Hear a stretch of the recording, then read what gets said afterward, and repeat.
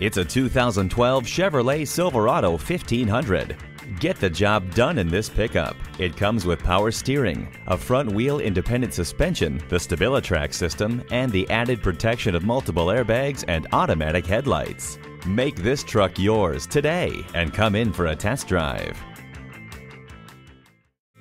Go green at Green Chevrolet Chrysler. Email or call us today to schedule a test drive or stop on by. We're conveniently located just off Avenue of the Cities in East Moline, Illinois.